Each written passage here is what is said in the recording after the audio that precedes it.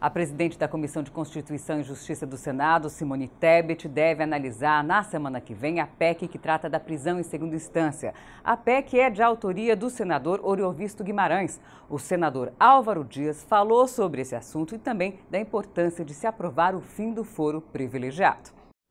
Hoje, o maior apelo do país é pela prisão em segunda instância porque não nos conformamos com esse escândalo do saidão da vergonha, do saidão do achincalhe, da afronta, do escárnio, do assinte, que colocou para fora dos presídios do país ladrões do colarinho branco, tubarões da corrupção. Esta é, portanto, a prioridade. Como é prioridade acabar com privilégios? E o símbolo hoje dos privilégios das autoridades brasileiras é o foro privilegiado.